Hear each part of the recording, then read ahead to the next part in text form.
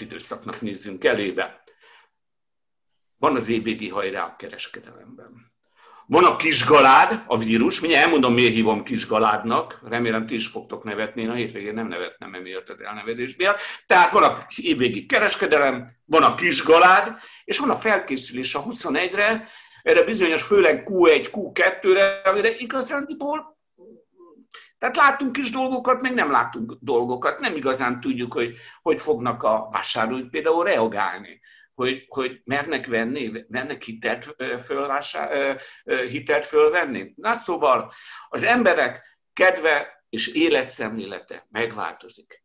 Több időt töltenek ugyan a médiában, a hagyományos médiában, ez a sminkem, köszönöm. Több időt töltenek ugye a hagyományos médiában, még a digitális médiában, de azért az nem feltétlenül jelenti azt, hogy több reklámot is kell tudniuk fogyasztani, meg ha mondjuk lejjebb megy a fogyasztás, akkor mit is tehát reklámozni azt lehet, amit érdemes is eladni. Na szóval, nagyon-nagyon sok mindennek kell gondolkoznunk. Ahogy mondani szokás, régi eszközökkel nem lehet felfedező útra menni. Forgassuk fel tehát a tradicionális gondolkodásokat, a régi üzlet, megkövesedett üzletmeneteket, kampányszemléleteket, tervezéseket, ezeket mind-mind dobáljuk ki a francba.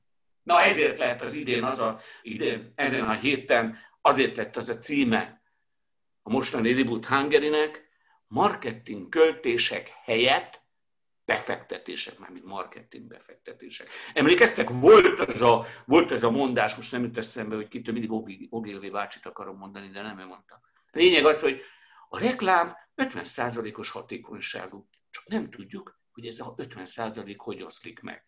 Hát a nagy büdös túrót, ez ma már elképzelhetetlen, hogy így menjen, mindenkinek van kockás papírja, plajbársza, meg tulajdonosa, meg a végén, a nap végén, hogy mennyit adtunk el.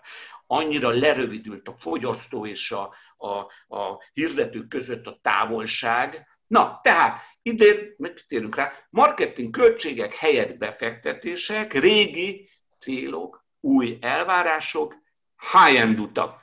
Rá fogunk térni, hogy honnan jött ez a fantazmagória. Tehát omnichannel és azon is túl. Hogy egy kicsit még jobban azon provokatőr legyek, úgy döntöttem, hogy ma a hirdetőket befektetőknek fogom hívni. Aztán vagy bejön, vagy nem. Tehát nincs olyan feltett kérdés, csak zseniálisan megfogalmazott válaszok. A mai vendégeimet négy szektorból hívta meg, piaci szegmensből, a közszolgáltatásból, az FMCG világból, a pénzügyi banki világból és a gyógyszeriparból. Megnevezzük, hogy honnan jönnek, de nem ez a lényeg, a barátaimat a szakértelmük miatt hívtam föl. Első vendégem lesz, akivel beszélgetni fogok, Filó Angéla barátom, a BKK kommunikációs vezetőjeként szakmai és üzletfejlesztési koncepciókat, stratégiákat dolgoz ki, és ezen kívül a Soproni Egyetemnek is, hát ott úgy tudom, hogy tanít is, de egyébként a tanítás mellett a kommunikációs stratégiájukat segíti kidolgozni. Második vendégem, Kis Ágota, a Granit Bank marketing osztályának vezetője. Hát bevallom férfiasan, ma amikor így nézegettem a sziviket, szinte elszégyeltem magamat az iskoláimat. Ő például New Yorkban az Edelmannál kezdte, aztán volt a Magyar Telekomba, aztán Budapest 2024 olimpiai és paraolimpiai pályázatának közösségi média, médiáját vezette, dolgozott az Unió médiába, és most pedig a Granite Bank marketing osztályának vezetője. Na, és köszöntetünk egy doktort is. Doktor Kulcsár Nikolett, aki a napokban lett. Én megkérdeztem, hogy tegezhetem-e. Bevallom férfiasan. Doktor Kulcsár Nikolett, gyógyszerész, közgazdász, Richter Anna díjas, a GlaxoSmithKline-nak a globális marketing menedzsere. Nem fogom soha többet tudni kimondani, úgyhogy maradjunk annyi, hogy gyógyszeripart mondok, és akkor nincsen gond, úgyis tudjuk, hogy mi van. És német Norbert barátom, Csibó. Hát őt is elég régóta ismerem, bocsáss meg Norbi, hogy ezt mondom.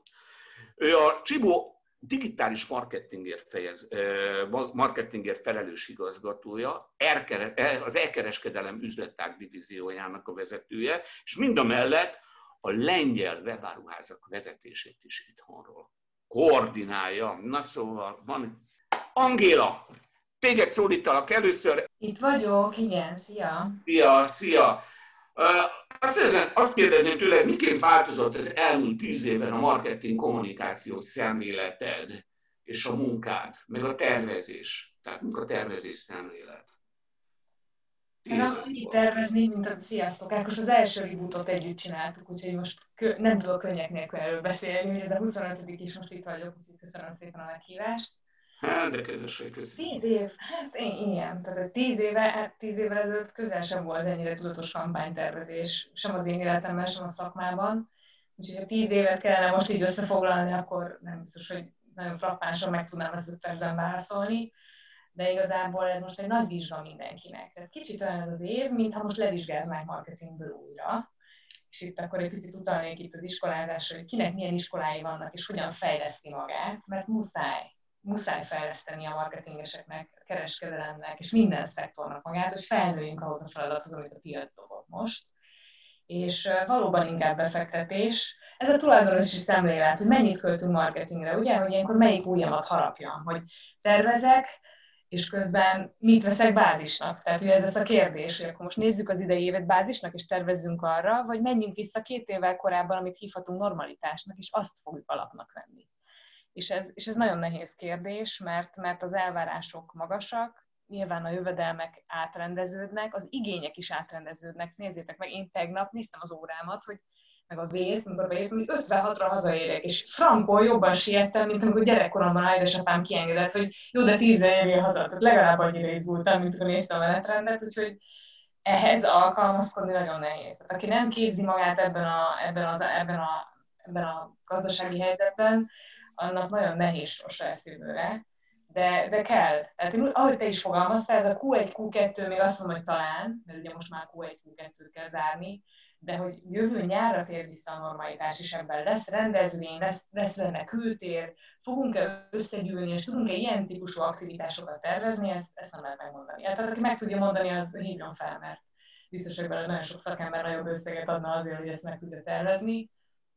Ugyanúgy képzés nélkül ezt, ezt nem lehet. Tehát, hogy én is nagyon sokat fejlesztem magam, és, és elkötelezett híve vagyok annak, hogy az egyetemekről akár talentprogramokkal hozzunk be olyan friss munkaerőt, olyan kollégákat, akik, akik még nálunk is jobban látják azt a social media teret, mert, mert ahogy telik az idő, egy, egy jó TikTok kampányt, hogy őszintén én már biztos, hogy értem és átlátom, nekem kellenek azok a szakértők, aki akár lehet egy 16-18 éves, és igen, aki egyébként azzal a fejjel tud gondolkozni, amit nekem meg kell értenem.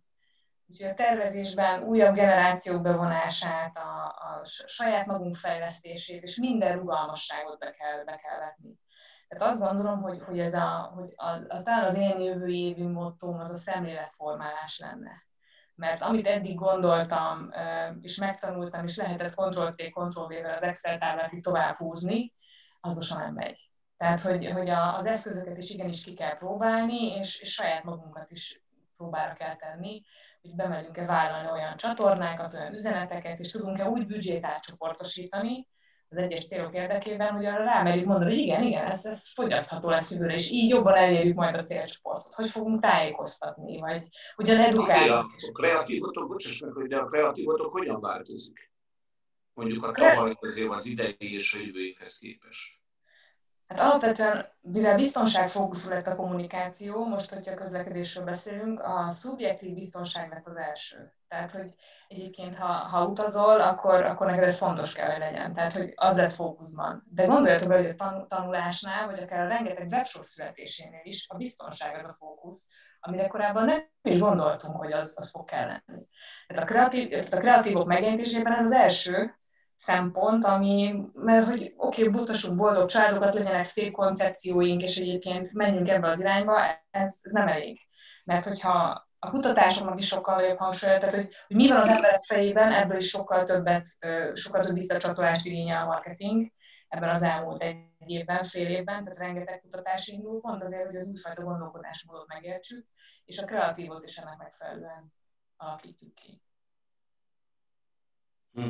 Ö, hogyan használjátok a, a, annyi féleképpen lehet felbontani a marketing kommunikációt, ö, hogyan, hogyan ö, használjátok a formális és az informális csatornákat? Magyarán mondva a közvetlen reklámot, meg, meg az, hogy hivatkozzanak ugye az új, egyik új buzzword, és, és működik is az anyáló rendszerek.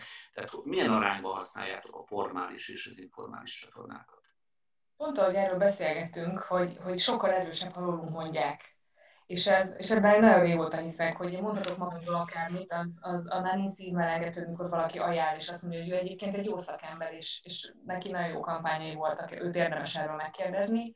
Ugyanígy egy üzenetnél rengeteg civil szervezetnek a bevonása kerül előtérbe. Sokkal nagyobb hangsúly van rá egyébként mind az edukációban, mind a közlekedésben, mind pedig olyan szervezetekkel, akikkel dolgozom, tehát a kismamákat nem a brand fogja meggyőzni arról, amiről szeretné, hanem, hanem is azok, az a közösség. Vagy mondjuk a bringásokat nem egy nagy cég fog meggyőzni, hogy egyébként száll bringára, hanem az a, az a civil közeg, ahol ők egyébként hangosak és együtt dolgoznak. És, és ez az út.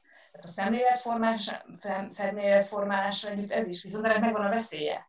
Tehát, hogyha én bízom egy civil szervezetben, és azt mondom, hogy kommunikálj és segíts az én munkámat. Tessék? Hát, köszönöm, hogy feltetett helyettem a kérdést. köszönöm, ezt akartam kérdezni, hogy hol van ennek a veszélye. Tiéd a szó, elnézést. Jó, jól összevesztem magammal, jó, csak magammal vitatkozom, de a többiek is. Igen, ne, ne, ne, igen. Szóval, hát a mi a veszélye?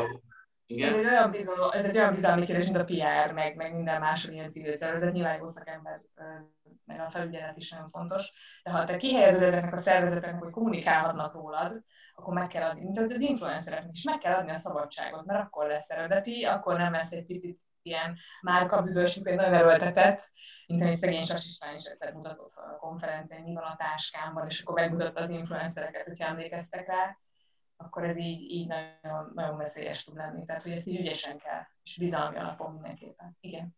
Hát igen, igen, a bizalmi alap az egy rendkívül fontos dolog, de én magam is találkoztam már olyan ügynökséggel, aki hát elmondta, hogy ő milyen marha ügyes, elmondta a múltját, és az Istennek nem tudtam rávenni arra, hogy két napot avval foglalkozzon, hogy nekem mi az üzleti modellem, mi a múltam, és hogyan csinálkolom a dolgokat. A magyarán mondva, van arra ma idő, hogy a, azokra, akire, akiknek bizalmat adsz, azokat napok, és részükre van egy készség erre, egy nyitottság erre, hogy rohadtul megtanulják azt, hogy hogy működik a te piacod, hogy működik az összefüggés tanok, hogy működnek a, a versenypiaci körülmények. Mindenütt van verseny, olyan nincs, hogy közszolgálatban, de ott is valamivel mindig van verseny. Ha azt nem tudja zsigerből, hanem csak ilyen patenteket használ, vagy sablonokat használ, hát belerohantok a tűzbe, vagy a falba. Szóval, akinek bizalmat adsz, azok kapnak oktatást, mély oktatást kapnak belületek, mert ott derülnek ki a titkok. Ugye? Ahhoz, hogy jól tudjak hazudni, mondd meg az igazat, bocsánat. Tiéd a szó, Angéla. Igen, egyébként ez, ez a bizalmi kérdés, ez nagyon veszélyes tud lenni, de mivel itt a civil szervezeteknél azt képzeljétek el, hogy olyan szintű fanatikusok vannak, akik így véleményvezérek, akik sokkal jobban ismerik azt a területet, mint én, aki marketingesként holisztikusan látom az egészet, és brand is, ami a nagykönyvben meg van írva, meg amit az igazgatóság vagy a tulajdonos elvár, ezt sokkal jobban tudják a szervezet, és sokkal közelebb is vannak emiatt, nincs akkor a távolság a fogyasztó meg a márka között. Tehát ha csak mondjuk egy, egy bringás szervezete, vagy a kismamákra gondolok, hát ők aztán sokkal jobban fognak tudni kommunikálni azzal a célcsoporttal, akit nekem el kell érni. Tehát, hogyha ő lebringázza az útvonalat és megmutatja, sokkal hitelesebb, vagy hogyha akármilyen ajánlási rendszerre gondolok, mondjuk, ha csak kollégákat keresünk, a megfelelő szakembert akarjuk, akkor kiben bízunk jobban? Akit egyébként profession és HR és leszűrnek, és ott ül. Egyébként pont két olyan szakember ajánlja, akit én ismerek és dolgoztam, mert úgy figyelj, őt hív fel, mert ő egyébként nagyon ügyes webfejlesztő. Nyilvánvalóan, hogy neki a, a tetszésindexen állam 9 vagy 10 lesz, mint az, akit egyébként három körön keresztül interjúztatott. Civil szervezeteknél is sokkal jobban belelátnak a témába, és sokkal könnyebben át, átadják azt az üzenetet, amit te akármilyen kreatívval se fogsz tudni. Nekem csupa jó tapasztalatom. Van rossz is, de, de most főként, főként sikertörténetekről beszélek, ami, ami egyébként sokat segít ilyen vérzipataros időkben is. Hogyan álltok a hagyományos és a digitális csatornákkal kommunikáció, a média platformokkal? Hát nézd, alapvetően döbbenetes, hogy a tévé mennyi mindent tud még mindig ebben a helyzetben. Tehát ezt nem ismerem el szívesen. Oké, okay, tehát, hogy nálam nem egy lábrend ez a tévé, meg ez a sajtókérdés, de kell, használni kell, mert, mert egyszerűen a, a maradj otthonnal, meg ezzel átrendeződéssel, azon túl, hogy digitális platformok hasítanak, a tévé még mindig kell. Tehát úgy gondolom, hogy az, az mindenhol kell, hogy legyen, ez pedig, ez pedig majdnem fele, tehát még mindig a hagyományos csatornák, de ezzel párhuzamosan jól időzítve ugyanúgy ott vannak az online csatornák is, hiszen mindenki multi-channel, omni-channel, mindent néz. Elhangzik egy James Bondban egy, egy, egy szlogen, vagy látunk egy órát, már keressük az árát, tehát ez működik. Ugyanúgy, hogy tudjuk, hogy mit fogunk egyébként társadalmi célú hirdetéssel látni. Tehát jó, jó az együttműködés ilyen szempontból. Más kérdés, hogyha mondjuk edukációról van szó, hogy egyetemekről beszéltünk, az utánpótlás, a talent, az a generáció, aki majd négy-öt év múlva majd a mi helyeinkre is pályázik, ott viszont csak és kizárólag a, a, az online platformok működnek, TikTok, amit ahogy kezdtem, hogy ahhoz viszont még nekem is tanulni kell, hogy ott mi működik, és, és mi az, ami jó. Tehát ott pedig erősen online túl hangsúlyos sztoriról beszélünk. Úgyhogy ez teljesen brandfüggő. Ágottát kérdezném, itt vagy kis Ágotta? Itt vagyok, sziasztok! Szia, szia! Na, hát nálad volt az, amikor azt mondtam, hogy a kis galád, mert hát neked elmondtam a sztorit, hogy a hétvégén elkészítettük a, a hirdetéseket a közösségi médiára, meg a, meg a Google-ra, és azt mondták, hogy pénzügy, meg vírus nem lehet. Tehát konkrétan a Granit Banknál a bankot le kellett szedni, nem a vírusnál, meg átírtuk a dolgokat Kisgaládra, és onnantól kezdve fölengedett minket. Ágotta, a koronavírus járvány milyen hatással volt hogyan tá- ö, ö, változtatta meg a kommunikációs stratégiátokat? Sziasztok! Köszönöm szépen Ákos én is a meghívást, és üdvözlök mindenkit a screenek túloldalán. A koronavírus válság a kommunikációs stratégiánkat nem, nem változtatta meg tulajdonképpen, azt gondolom, hogy semennyire, mert hogy mi digitális bank vagyunk, digitális üzleti modellel működünk, ami azt jelenti, hogy fiókhálózat nélkül, tehát már az indulásunkkor, a tíz évvel ezelőtti indulásunkkor is kifejezetten azt a célcsoportot szerettük volna megtalálni, akik a digitális ügyintézés, a digitális technológia iránt affinisak, tehát nálunk a, digitálisból indult minden. Az egy érdekesség, hogy egyébként mi az evolúciónkban most értünk oda, hogy tévéreklámunk ebben az évben indult el először, tehát nálunk ez egy ilyen érdekes twist. A kommunikációs stratégiánkat tehát nem változtatta meg, viszont nyilván a verseny így kicsit, kicsit erősebb lett, hiszen minden bank a digitális térbe szorult, és a, a digitális ügyintézés kezdte promózni, ami számunkra egyrészt veszély, másrészt viszont, mivel segítenek az edukációban, ezért lehetőség is. Tehát ezt, ezt igyekszünk mi is kihasználni, és, és ügyfeleket akvirálni mindenkinek a padvizén. Uh, jó, de például kreatívban, vagy üzenetben változott valami? Tehát én nem csak a tévére gondolok, meg az offline világra gondolok, hanem magában a kreatívban. Kellett-e ott változtatnatok valamit? Amit, amit az Angéla is említett, azt tudom megerősíteni, tehát a biztonság, ugye egyébként nálunk is nyilván a adatbiztonság és minden egyéb mind, mindig is fókusz volt. Most egy másfajta biztonság is előtérbe került. Egyébként pedig minél, tehát talán az empátia szót hoznám ide, mert minél inkább próbáljuk most megérteni azt, hogy egyébként milyen helyzetben vannak a, az ügyfelek, a fogyasztók, és erre próbáljuk az üzeneteinket, a kreatívjainkat ö, ö, alakítani, de ez, ez azt gondolom, hogy mindig jellemeznie kell a, a marketing tervezést. Ágota, a digitális bank mérhetetlen mennyiségű adatok állnak a rendelkezésre amikor én befektetésről merészeltem beszélni költések helyett, azt nyilván erre merészeltem ráhegyezni, hogy adatok, adatok, adatok, adatok. Na, hát milyen adatokkal tudtok dolgozni? olyan ügyféladatokkal, amit az ügyfél enged nyilván, hogy ezt mi használjuk, és, és, és amire aztán építsünk kampányokat, üzeneteket. Egyébként, amikor az, az a kérdés felmerült, hogy marketing költések vagy marketing befektetések, akkor, akkor az én fejemben valami olyasmi válasz fogalmazódott meg, hogy költés talán akkor, hogyha, hogyha nem hatékonyan van elköltve, eltervezve az nem a pénz. Nem menjél ebbe bele, mert ezt a végén mindenkitől meg fogom kérdezni, Bocsánat. és akkor bevál... nem, nem, nem, csak hogy ne, vál... ne vesszen el, kérlek ne haragudjál a erőszakoskodásomért, csak nem akarom, hogy elvesszen ez a dolog.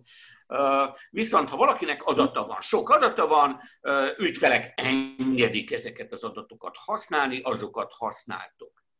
Az adatokat mire használjuk? Hogy a múltból menjünk a jövőbe.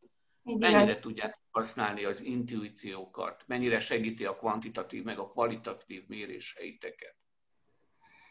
Mindenképpen segítés, ugye, mint ahogy említettem is, digitális bank, digitális ökoszisztémában gondolkodunk, mind a szolgáltatásunk, mind a kommunikáció terén, tehát számunkra ez nagyon fontos, hogy hogy, hogy azok a, a forintok, amiket elköltünk, azok, azok aztán mérhetően hozzák az eredményeket, de azt gondolom, hogy, hogy, hogy az empíria, illetve az, hogy, a, hogy, hogy a humán faktort azt azért nem szabad az egészből kifelejteni, és most például ebben az időszakban, amikor tudjuk, hogy az emberek most digitális térbe szorultak, és vajon felmerül-e az, hogy ha egyszer kiszabadulnak onnan, akkor meg leteszik a telefonjukat, eldobják, és, és nem akarják fél évig aztán felvenni, akkor, akkor mit csinálunk? Tehát, hogy e, ezt nem tudja az adat nekünk előre mondani, ehhez kell a humán fürkeállomány, hogy ezt mi megpróbáljuk megjósolni, és szerintem ez a legnagyobb feladatunk most ebben az időszakban, hogy hogy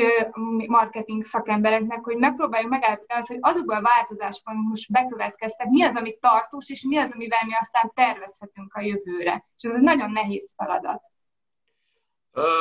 Ez itt a reklám helye. Jövő héten a Reboot Hungary a service designról és a design thinking, thinkingről fog beszélni. Nem tudok beszélni, visszatérek hozzád. Azt szeretném kérdezni, hogy, hogy az volt az első mondataid között, idén már van tévés. Mennyire vagytok ti bevállalósak? A bankról ugye nem szeretnék a korommal kérkedni, de hát, hogy hármatokat összeadtok, akkor talán kijövök én, de, de hát azért mennyire vagytok bevállalósak? A banki szektor azért az mm. elég ilyen. Igen, szerintem azért egyre inkább kezdik a bankok is, ugye ezt a formális, informális már feszegettük, tehát ezek az informális csatornákat, és az, hogy hol tudjuk direktben megtalálni a, a, az ügyfeleket, fogyasztókat, ezeket igyekszünk minél inkább feltérképezni, és azért ott, ott amennyire van szabadság, azt ki is használjuk, tehát így elmegyünk a falig, azt gondolom. Én, én bevállalósnak tartom magunkat abban a keretrendszerben, amiben, amiben tudunk működni. A TV, TV egyébként, bocsánat, a, már, már szerintem az, én azt gondolom, hogy tíz éve ez a bank, akkor, amikor még és most, most ez is a reklám helye, akkor, amikor még, még nem volt videóban Magyarországon, még az egy nagyon merész döntésnek számított, hogy fiókhálózat nélkül induljon egy pénzintézet. Ez a bank ez meg, meglépte, és úgy tűnik, hogy az idő igazolja ezt a lépést. Tehát mind üzleti oldalról bevállalósnak tartom magunkat, mind, mind, mind kommunikációs marketing oldalról is azt gondolom, hogy, hogy, hogy ez jellemző ránk. Oké, okay. na, digitális bank vagytok, bevállalósak vagytok, és van egy hallatlan nagy előnyötök, tíz éve adatokat gyűjtötök, és van egy PSD2, erről most nem beszélünk, a pénzügyi liberalizációtól, de van hozzá egy fintech. Először is megkérnélek, hogy akik most hallgatják, és behoztam, hogy fintech, meg fintech, meg financial technology, tehát hogy mit jelent az, hogy fintech, és utána mindjárt tovább is lépünk. Segítenél?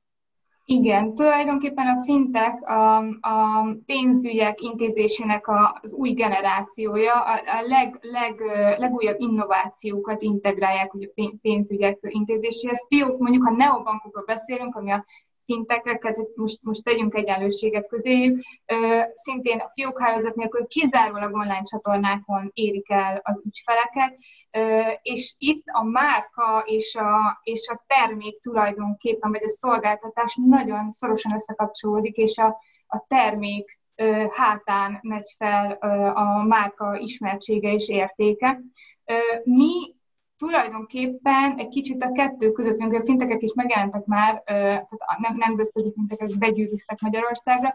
Mi a, a tradicionális nagybankok és a fintekek között vagyunk, kicsit mind szabályozás, mind kommunikáció szinten, és köztük próbálunk lavírozni, és nyilván a fintekektől elhozni azt, ami jó, és közben megépíteni a banki szolgáltatásokat, és a bizalmat, mert ez, ez, ez egy nagyon erősen bizalmi játék, az játéktér, ahol mi játszunk. Kimondtad a lényeget körülbelül kettő perccel ezelőtt, amikor a termékértékesítés vagy szolgáltatás értékesítés és a márkázás egybe van. És akkor már is eljutottunk az, a, az Omnichannel-ből a, ebbe a bizonyos high-end útra, hogy hogyan lehet a márkázás és a termékértékesítés párhuzamosan futtatni, de ennek lesz még egy része. Hát nagyon szépen köszönöm, de most átmegyek harmadik szereplőnkhöz. Hát tegnap, amikor beszéltünk, akkor mondtuk, hogy hát szegény bankosok hogy le vannak szabályozva, aztán nekem meséltél, és az a hülye mondat jutott eszembe, hogy na hát ez, a, ez egy gyógyszeripar az, amelyiknek a terméke a legközelebb van az emberhez, mert belőle megy, minden gyógyszer belőle megy, és a legtávolabb helyezi a szabályzóval a lehetőséget, hogy jól tudjatok egymással kommunikálni. Nem könnyű. Azt szeretném kérdezni, Niki, hogy miképpen változott az elmúlt tíz évben a marketing kommunikáció gyógyszeriparban? Hát őszintén szólva én azért tíz évről nem tudok beszélni, mert annyit nem vagyok a, a szakmában, de az elmúlt öt évben én azt látom, hogy, hogy azért mi is eléggé megyünk a digitális irányba, és abszolút viszont nálunk külön kell venni az OTC piacot és az RX piacot. Az egyik az a vényköteles termékek piaca, a másik pedig a vény nélküli termékek piaca, és szabályozásban is különbség van. Az OTC az azért leginkább az FMCG-hez van, van közel, tehát ott, ott tulajdonképpen a gyógyszercég megengedheti magának, hogy egy branded kommunikációt folytasson, és ezt megteheti egészen, ezt elviheti egészen a felhasználóig, a, a vásárlóig. Ezzel ellentétben az RX, ahol én is dolgozom, egy sokkal-sokkal szabályozottabb piac, én igazából branded kommunikációt azt csak az orvosok felé csinálhatok, aztán ők kommunikálják tovább ezt az egészet a, a végfelhasználó felé, vagy pedig csinálhatok egy non-branded kommunikációt, ami ugye a customer felé van. Most ezt azért mondtam el, mert, mert például az OTC-ben azért régen is, és még most is nagyon-nagyon nagy szerepe van a tévének, és én is egy ilyen 50%-ot látok, ahogy Angela is mondta az elején, tehát ez azért az nagyon nagy. Holott, holott növekvő digitális felhasználás látok, de nem a tévé, nem a tévé rovására illetve az RX-ben, viszont azt látom, hogy aminek még mindig nagyon nagy szerepe van, és amit most nem tudunk használni, ez a face-to-face kommunikáció, vagy human-to-human kommunikáció, és, és emellett megy a, megy, megy, a, megy, a, megy a kommunikáció, a marketing kommunikáció a digitális irányba. Mi, mi volt számotokra, március 11 pandémia, gyógyszeripar vagytok, mi volt a legnagyobb kihívás számotokra most így 20-ban, és a kérdés második fele, mi lesz 21-ben? Én ugyanazt jelölném meg, talán, talán 21-ben kicsit okosabbak leszünk, de szerintem a legnagyobb probléma az, az a forecast, forecastolás volt. Azért tudni kell, hogy itt, itt a tervezések, főleg tényleg mennyiségi, havi mennyiségi tervezések, azok eléggé előremutatóak, tehát hogy idén megtervezem az egész jövő évet, de már leadok nagyjából a kalkulációt mondjuk három évre előre és, és azért, ahogy, ahogy márciusban kijöttek a hírek, az emberek rohantak a patikába, és feltankoltak. Három havi adaggal körülbelül, hogy tuti legyen, legyen otthon. Magyarul szerintem az összes gyógyszercég nevében beszélhetek, hogy volt egy hatalmas nagy pík, elvittek egy csomó mindent, utána pedig ellátási problémák léptek fel, mert hát ugye nem ezzel, nem ezzel számoltunk, nem ezzel kalkuláltunk, és, és nagyon vártuk utána, hogy, hogy ez mikor, mikor egyenesedik ki, mikor, mikor áll vissza a régi rend, és azt látom, hogy még mindig nem, minden termék esetében ez még mindig nem tudott megtörténni, és nagyon-nagyon sok faktor van, ami, ami befolyásolja ezt. Tehát gondoljatok csak arra, hogy, hogy mennyire nehéz most orvoshoz bejutni. Korábban mondjuk egy házi orvoshoz simán fogta meg az ember bement, és mondjuk kapott, nem, nem tudom, jó tanácsot vagy gyógyszert. de, de valamit kapott. Most fel kell hívni, időpontot kell foglalni, ezért sokkal kevesebben mennek orvoshoz. Nyilván ez is illeszteli a gyógyszerfogyasztást. Elmaradnak műtétek, ez is illeszteli a gyógyszerfogyasztást, a gyógyszer felhasználást, és ezeknek mind-mind nincsen rátás, és ezek tőlünk kívül vagy felettünk álló dolgok, viszont, viszont megérezzük.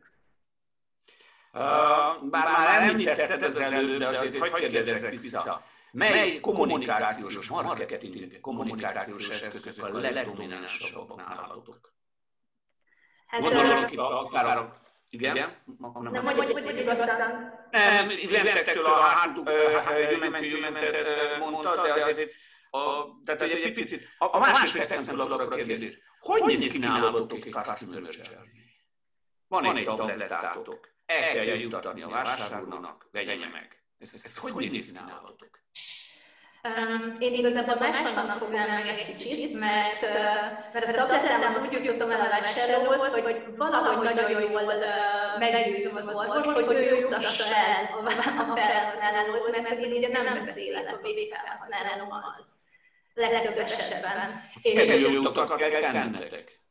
Abszolút van, van ilyen, van ilyen, ilyen. De hát nekem egy nagyon jó kapcsolatot kell kialakítanom tényleg az orvossal, az, az nagyon fontos, hogy ő is merjen tőlem kérdezni, és így el, hogy én tudok neki válaszolni. Tehát, ő abszolút egy partnerként, egy mellé szerepet érezzen, és egyikünk se legyen felelő.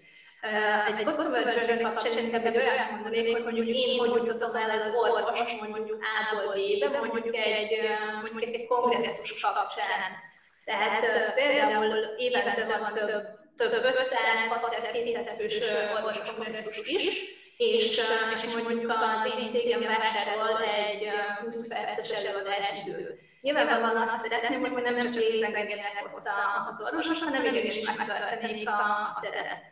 Na most azt csinálom, hogy például először még a nyilván a kongresszus előtt kiküldök ködönéleket, meg színéleket, erdélyemet, amiben elmondom, hogy mire készülök, milyen témával készülünk, melyik kongresszusra, és melyik úgymond írás előadót, orvosnak kollégát kértem fel, és, és miről fogunk beszélni. Utána esetleg, aki nem, nem, nem, nem tudta meg ezt az e-mailt, hogy még egyszer kiküldöm, akkor, akkor az e-mailben pedig beleteszek egy olyan CTI gombot, ami pedig a saját weboldalunkra viszi, viszi el az orvosokat, ott pedig mondjuk meg azt, hogy egy érdekes cikket.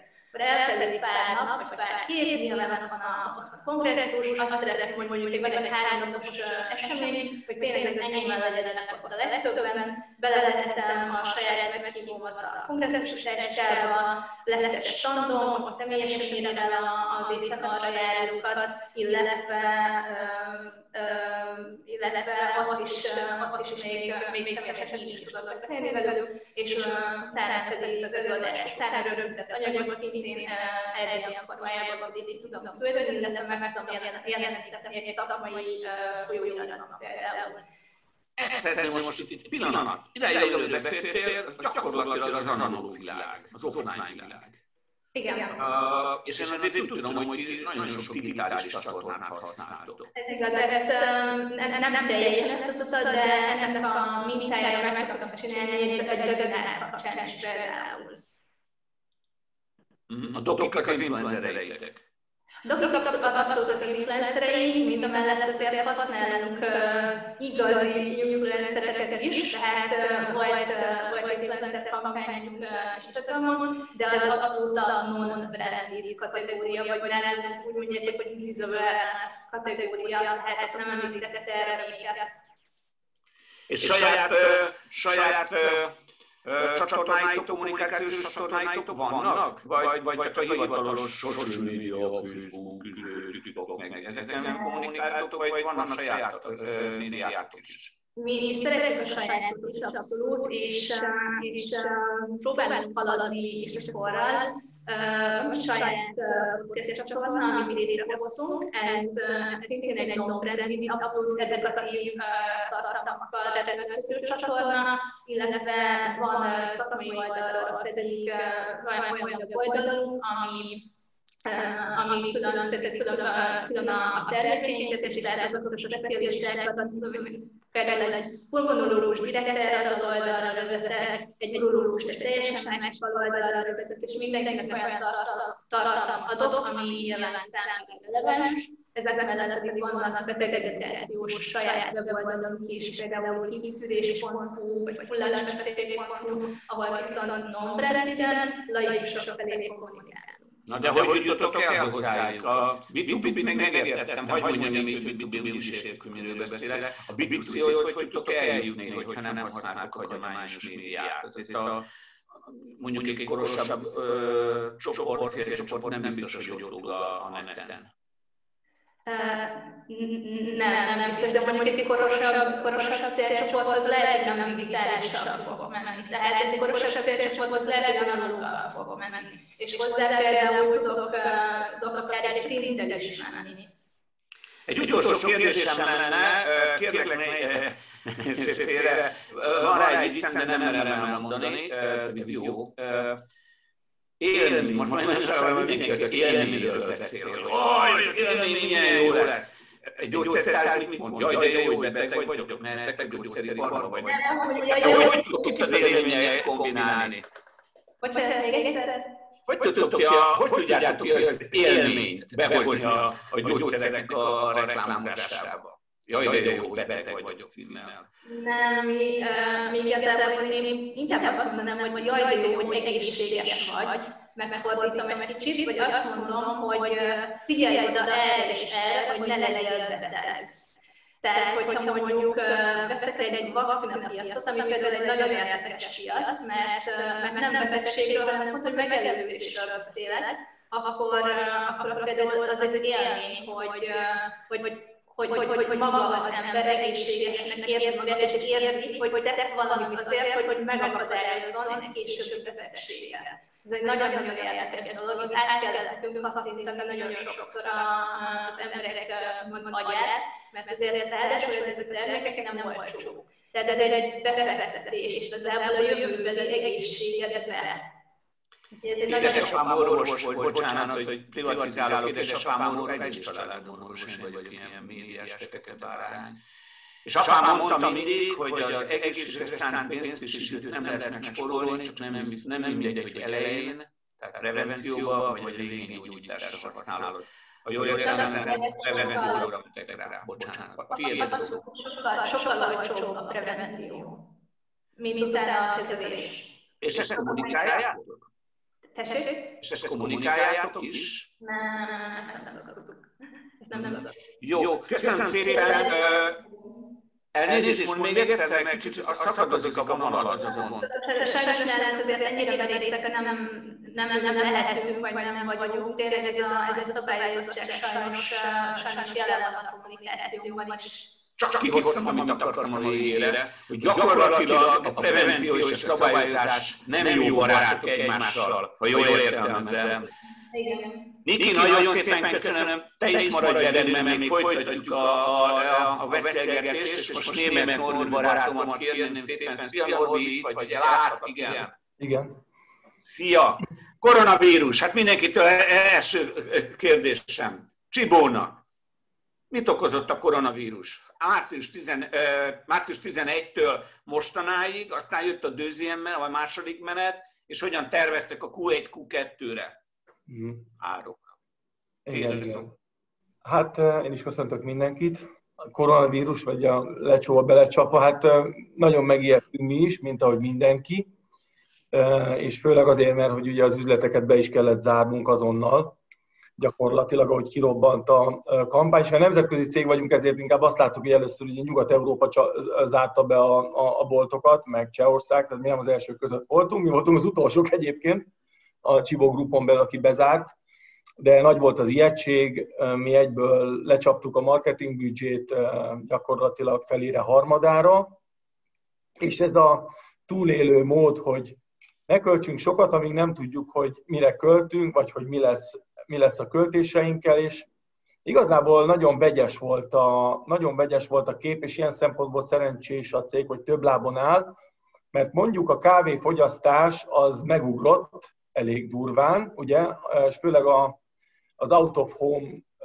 kávéból in-home, tehát home kávéfogyasztás lett, és ezért gyakorlatilag ez az üzletágunk ez nagyon szépen megugrott, még a retail üzletág, tehát a használati cikkek, hát, nem, amikor ugye lisztér meg cukorért szaladtak a boltba az emberek, akkor nem pizsamát, meg nem tudom, gumicsizmát vásároltak, úgyhogy ott meg volt egy flop, plusz a boltok bezártak. Viszont ami nagyon érdekes volt a, a használati cikknél is, és, és ez Németországban, meg Dachban láttuk, tehát ahol bezártak a boltok, ott gyakorlatilag egyik napról a másikra a, a webáruháznak a forgalma az gyakorlatilag megugrott egy ilyen 40-50 százalékkal itt árbevételről beszélek, és ahogy aztán tisztult a kép, úgy látszott ez az egész, hogy gyakorlatilag ez nem elég, hogy kikompenzálta a retail üzletágnak az árbevétel kiesését, hanem egy magasabb szinten állt be összcég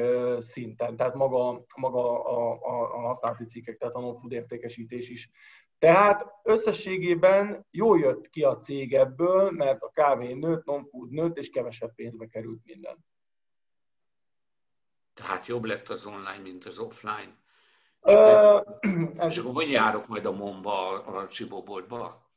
Hát most még, most még tudsz, most még nyitva vagyunk, ki tudja meddig, tehát, hogy most már ugye megint az van, hogy elkezdtek Nyugat-Európába bezárni. Most az osztrák barátaink, csehek bezártak, tehát úgyhogy nem tudom, megint az lesz valószínűleg, amit tavasszal, de hát a webáruház bírja, oda lehet jönni. Hát a Mon Parkba, Csibóban nem biztos. Aha. Uh, hagyj kérdezem meg, hogy most menjünk el is ettől a témától, ezért keletkeznek a, szépen prosperál az online, jöttök föl vele, boldogok vagytok, működik az offline is. Mind a kettőben keletkeznek az adatok.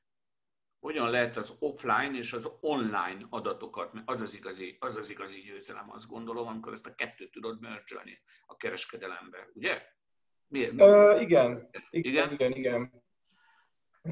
Hát igazából ezt Kivo megoldja, ha nem is minden országban, de ahol meg tudja oldani, ott leginkább a, a törzsvásárlói programjának a segítségével. Tehát, hogyha valaki rendelkezik Csibó kártyával, ami Magyarországon sajnos nem elérhető, többi országban igen, akkor látjuk, hogy a webáruházban vagy az üzletekben vásárolt-e az adott illető. Úgyhogy ilyen módon látunk, látunk átjárást, látunk forgalmat, látunk, hogy aki egyik csatornán vásárol, a másikon nem, ki az új, ki nem. Tehát, hogy ezeket, ezeket mind nyomon tudjuk követni. Hát egyelőre ilyen módszerekkel, tehát azért nem tartunk ott, mint, a, mint az Amazon, hogy a, belép a felhasználó a boltba, és akkor egyből látom már az arcán, be, beazonosítottam, és tudom, hogy ki ő, még hogyha nevét nem is dobja föl a rendszer, de tudom, hogy nagyjából ő egy jó vásárló, erős vásárló, vagy akár valamilyen RFID-s megoldással tudnám, hogy mondjuk mit tett a kosárba. Tehát itt ettől, ettől fényévekre vagyunk nyilvánvalóan, de ilyen alapadat és vásárlói információ összevezetés, ez, ez megoldott nálunk. Norbi, most találtam ki a kérdést, és próbálj elvonatkoztatni, hogy csibós vagy, elkereskedő vagy. Igen. Összemörgyölöd, hogy XY egy évben a Csibóban vásárol tök mindegy, 100 ezer forint, 1 millió forintért, mindegy.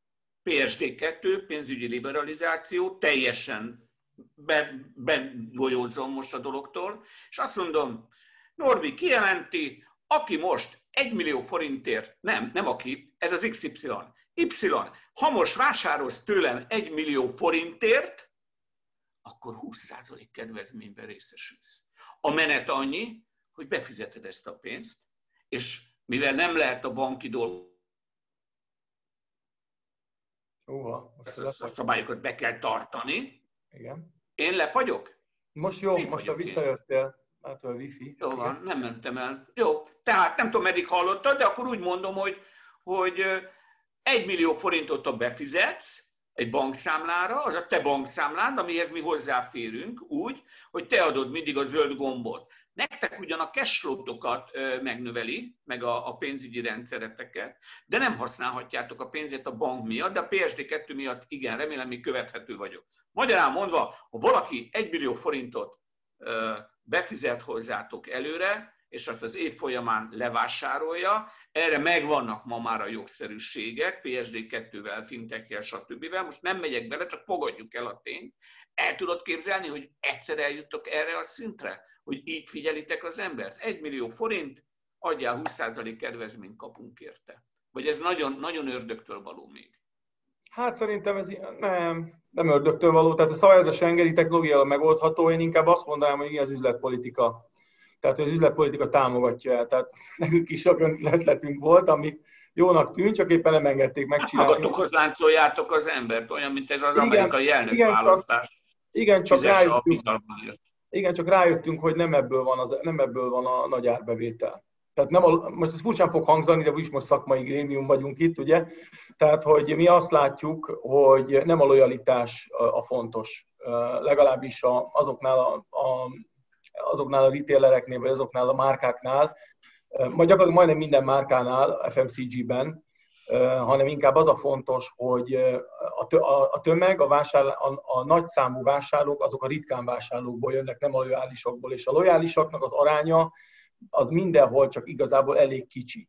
És pont ezért mi nem a lojalizálást erősítjük. Én nem véletlenül nincsen Magyarországon, nem vezettük be ezt a, ezt a programot, ezt a törzsvásárlói programot, mert baromi drága lett volna, hogy egyszerűen, és nem bizonyított, hogy, hogy mennyivel növeli meg összességében az árbevételeket, holott és ezért van visszacsatolva a többi témára, amit bekapcsoltál ide korábban a, hölgyek, hölgyeknél, hogy pont ezért jó a televízió még, még akkor is, hogyha mondjuk közvetlenül aztán online értékesítés az a végcél, mert hogy behozza azt az úgynevezett long tail tömeget, akik, akik valószínűleg majd vásárolni fognak tőle. Lehet, hogy nem rendszeresen, egyszer-egyszer vásárolnak, viszont a 80%-a, ez a 80-20% arány, ez teljesen így van, hogy, hogy, hogy, hogy nagyon, nagyon, nagyon sok jön az úgynevezett alkalmi vásárlókból, és ebből jön a tömeg. Nem, nem, nem is az átlagból, és nem is a, nem is a lojálisakból. Úgyhogy pont emiatt ilyet nem csinálunk. Olyat, amit most csinálunk, hogy ezért válaszoljak is a kérdésedre,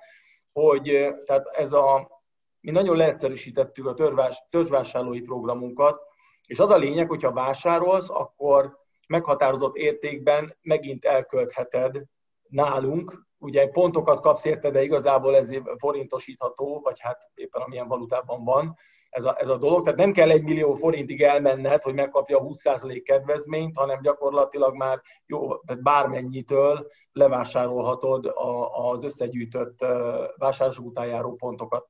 Úgyhogy ez egy eléggé, eléggé jó, jó megtartó kampánynak minősül a újravásárlótárás szempontjából, csak ezzel az a nagy probléma, hogy nem hoz új vásárlót hanem a meglévőket vásároltatja újra. Tehát a növekedést és a, a márkának a növekedését igazából, amire az egész játék kimegy, azt nem, nem támogatja. Mennyire erős a márkátok itt pandémia idején? Tudtátok-e erősíteni vagy kihasználni? Fú, ez nagyon nehéz megmondani. Hát egy, egy dologra jöttünk mi rá, például, hogy az biztos, hogy e, e, ugye milyen branded house vagyunk, tehát nálunk minden csibó például, és uh, ugye csibó non-food termékek vannak, kávé, stb.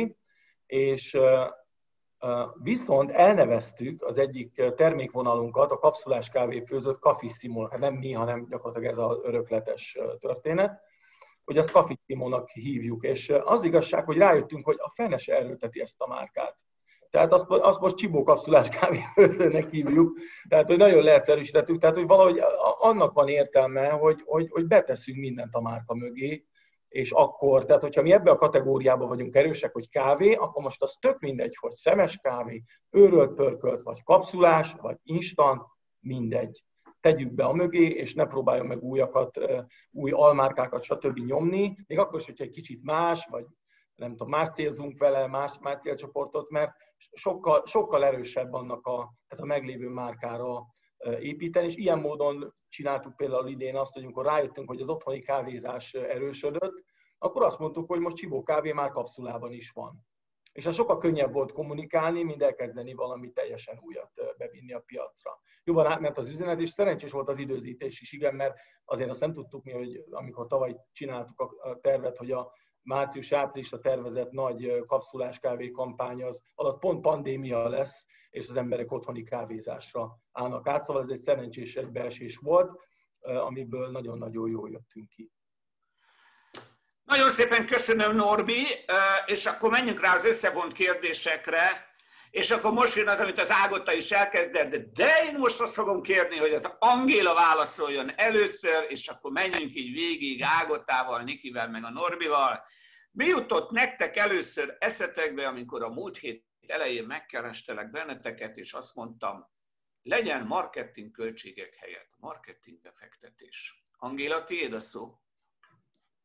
Hát én egyrészt nagyon örültem, hogy ilyen társaságban lehetek, másrészt meg annyira kérdezem. Jaj, jaj, nem erre gondoltam, szakmai része gondoltam csak. Jó, de én most Norbit annyira kérdeznék erről a lojalitásról, ezt szabad, vagy ezt így Hogyne, hogyne, parancsolj. Nem, ezt nem tudom. Ne, ne, ne, boldog vagyok, ha vitatkoztok egymással. Hát De hogy nem, csak hogy nekem ő tudod hiteles, és én klubkártya szerelmes voltam a Diego-ba, meg vagyok a mai napig így gyűjtöm, és, és úgy, úgy most ez egy kicsit így szíven ütött, tudod, ez, hogy így nem hoz annyit a klubtak, hogy érdemes legyen bevezetni egy ilyen márkának. Tehát, hogy miközben meg a kuponokért ugye megőrülnek. Tehát a kuponokról is mondj már valamit, hogy most akkor ez a glamouros, tudod, volt ez a glamour, joyos, digitális, ne? hogy itt milyen a beváltás, meg hogy, meg hogy itt, itt tényleg arról van szó, hogy itt a, a, majd a tévé megint, és akkor hozzuk be a tömeget, tudom, hogy a tömegben van a pénz. És ebbe a brandid alatt a brandidbe én se hiszek, mert nekünk is elneveztük a szőnyeget, meg a laminált padlót, és úgy hittük, hogy az emberek bejönnek, és majd nem laminált padlót, hanem mindenki tudja, hogy woodstepnek hívják laminált padlót. Nem tudják. Tehát, hogy nem.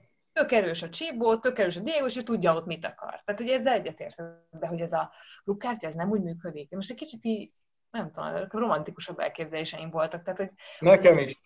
Nekem, nekem, a, kupon, nekem. a kupon, meg a, az hogy jön össze ez a kupon, meg ez a klubkártyás sztori?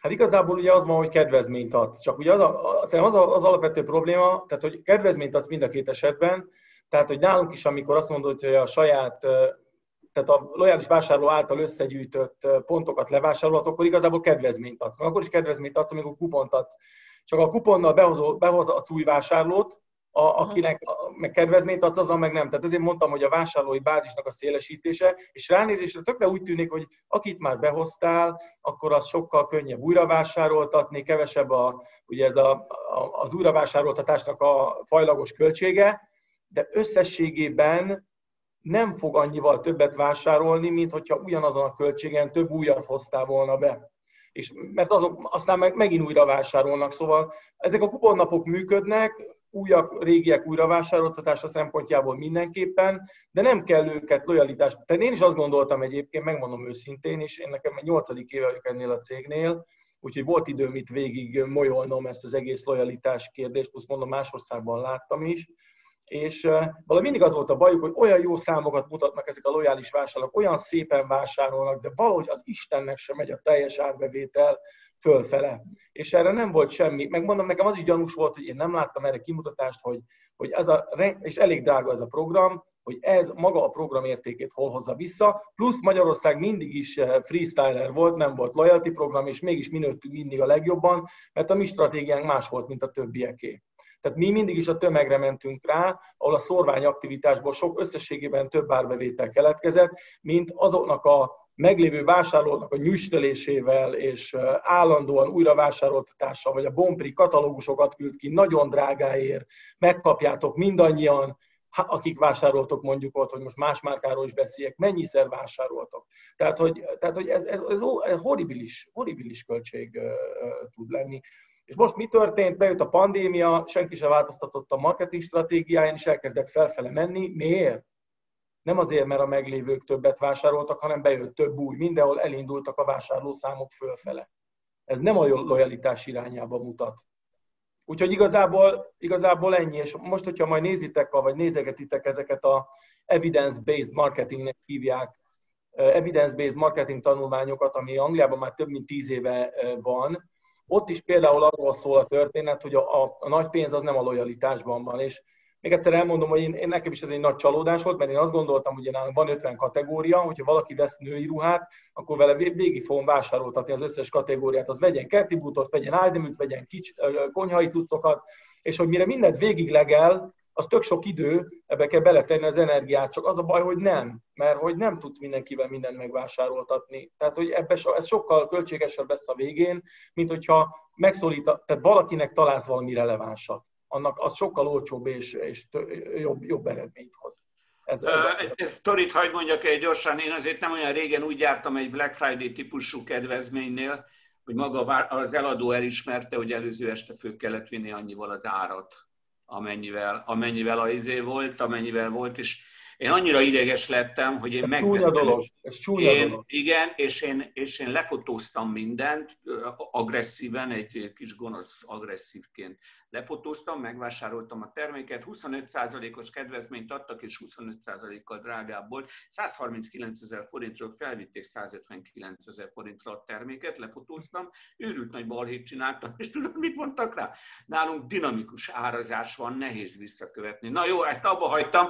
Arra azért kíváncsi lennék, hogy például Nikiéknél gyógyszeriparban hogy lehet loyalty programot csinálni, bocsánat, a fekete humorét ne válaszolj rá. Niki, Ágot, te az előbb jelentkeztél, légy szíves. Vagy rosszul láttam? Nem, nem, nem, nem, jelentkeztem. Igazából csak az fogalmazódott meg, lehet, hogy ez egy teljes evidencia lesz, de akkor ezek szerint a, a retail szektorban abszolút az árérzékenység továbbra is a jellemző, és a purpose, tehát az, hogy mondjuk a csibó termékei, nem tudom, fenntarthatóak, és, és mindenféle egyéb társadalmi kérdésben bármiféle állásfoglalásra tennétek, az sem befolyásolná annyira az embereket, mint az ár. Ez nem, ez nem igaz. A, a fenntarthatóság nagyon vonzó. Tehát az idei, én azt gondolom, hogyha nem, nem jött volna be a vírus, akkor a fenntarthatóságról szólna az egész évünk. Tehát, hogy tavaly kezdtük el, van, én egyébként nagyon, nagyon meglepő. Ezt ne, ezt ne folytat, ez az utolsó kérdésem. Ja, bocs. Versenyképesség és... és... válaszolni a kérdésre. Jó, jó, csak röviden, csak az utolsó kérdésemet Még egy, még egy, csak még egy utalás, bocsánat, az árakra, jó, jó. hogy mi pont azok a retailerek vagyunk egyébként, akik nem mindent a lehető legolcsóbban próbálunk eladni, hanem mindent a lehető leg, legdrágábban. Mert hogy mi csak saját termékeket árulunk, amit nem kaphatsz meg máshol. Tehát, hogy nálunk inkább az árérték arányra próbálunk. Tehát inkább érez azt, hogy legyen egy jó deal, de az nem feltétlenül egyenlő az olcsósággal. Mi nem vagyunk olcsók, hát szerintem azt láttátok. Tehát, Bocsáss meg, az élmény és az érzelem az a döntésnek a 80-90 százaléka. Tehát én értem, hogy te miről beszélsz. Semre, Filó Angéla, mi jut neked eszedbe arról, hogy marketing költség helyett befektetés, csak hogy maradjunk egy picit a témánál? Befektetés, ugye ezt mond, befektetés dolga, de alapvetően azért így végig gondolom, akkor itt ugye hirdetési eszközökbe való befektetésről beszélünk, még akkor is, hogyha elvolt a kolléganő bank. Tehát itt azért itt, itt voksolni kell. Tehát itt jósan várja az igazgatóság, és jósan várja, várja mindenki, hogy jó, te vagy a szakember, akkor szeretném tudni, hogy akkor mi a média mix, ugye? Miben hiszünk. És akkor az egyes brandeknél is ugye ez a legnehezebb, hogy mi a cél, ugye? Tehát, hogyha közszolgáltatásnál ugye van egy alap tájékoztatási kötelezettséged, egy edukációs kampánynál van egy KPI, hogy most ide 2000-re járnak, most ide 3500-al járjanak, és hogy mi lesz majd a vállalkozói kedv, és hogyha mondjuk van a, annyi félretett pénze egy már végzett kollégának, vagy nektek, ha csak magatokra gondoltok, hogy van már nekem papírom, de hogyha ajánlanak egy olyan képzést, akkor mondjuk én, én vagyok az a... De Angéla, bocsáss meg, te, te hoztad az előbb szóval a Diego-t. Oké, okay, ezt megértettem, hogy itt máshogy működik, de azért egy Diego-nál a szőnyeg, meg a, a, hogy hívják ezt a tapéta, nál talán ott már lehet beszélni arról, nem? Befektetésről? Igen. Hogyne. Tulajdonos azt mondja, hogy neki, ez egy, neki a marketing ez egy nagyon drága befektetés. Ugye? Tehát ez a, ez a klasszikus tulajdonosi szemlélet, hogy annyira, mennyi legyen a marketing költés? 2 százalék, 3, 20? Tehát, hogy mondd el, hogy akkor mennyiből és milyen platformon. Na most ennek szerintem most van a legnagyobb felelősség ebben az időszakban, hogy megmondjuk, hogy, hogy az, azt a befektetését hova tegy, és abból majd jövőre abból hogy fog tudni bevételeket realizálni. Na, hát, hát és akkor a számokkal tudod legjobban ö, ö, alátámasztani, nem? Tudod használni a, a, a, ezt a sok mérést?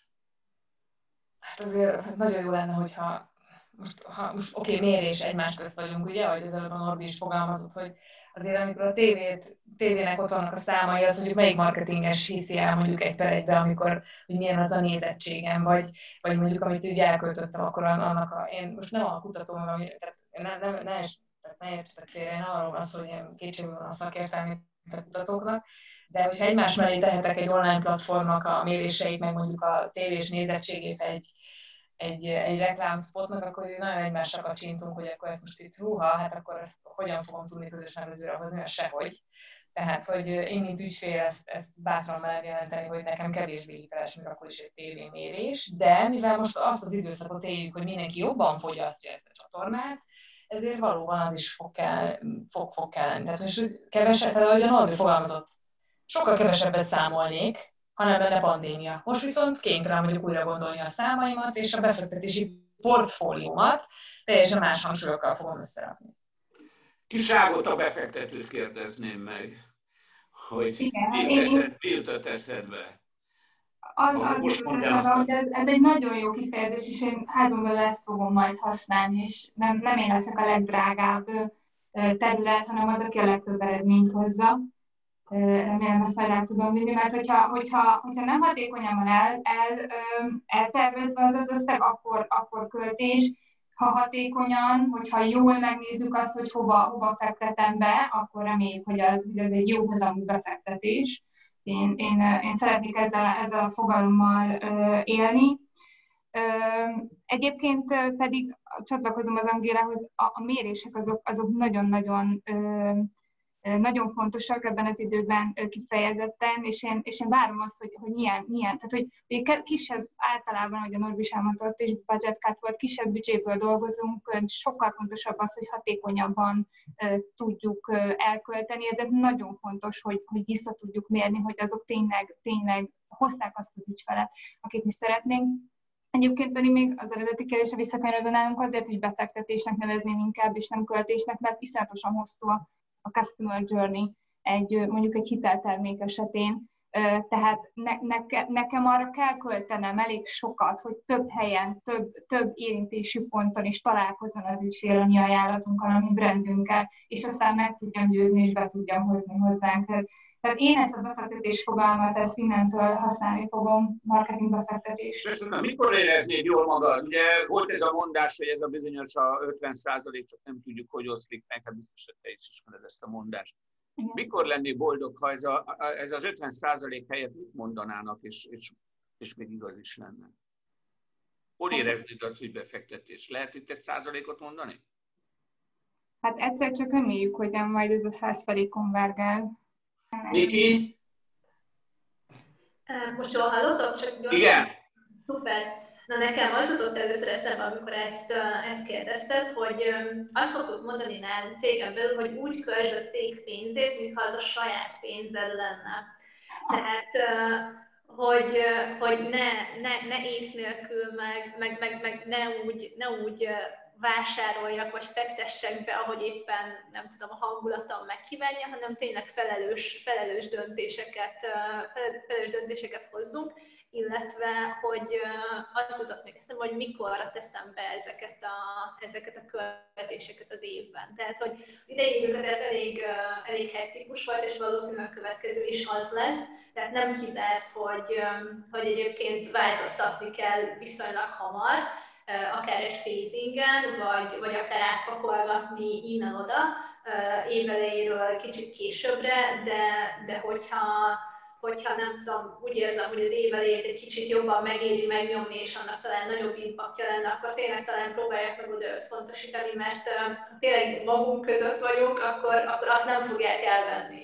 Azt nem fogják befrizelni, azt nem fogják katolni, akkor, akkor azt, azt, azt tényleg, tényleg el tudtam, el tudtam költeni, és hogyha meg vagyok róla győződve, jól, akkor, akkor szerintem mindenki boldog, illetve az utolsó gondolatom, hogy hogy vajon ennek a büdzsének mekkora százalékát éri meg most uh, valamilyen, valamilyen fajta kutatásra uh, elkölteni, hogy, uh, hogy tényleg piackutatásra gondolok, hogy, uh, hogy, hogy mennyire, mennyire változtatta meg a, nálunk például az orvosok nézőpontját a mostani helyzet, mi az, ami nekik számít, mi az, ami, mi az, ami nem számít, és akkor nyilván itt kell nekem is változtatnom.